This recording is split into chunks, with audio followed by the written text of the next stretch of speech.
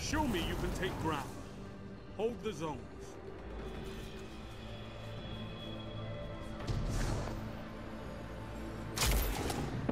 Double down. Oh!